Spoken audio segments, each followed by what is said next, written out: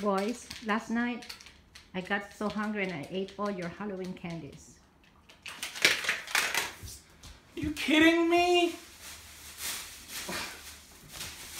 I told you not to! You ruined my life!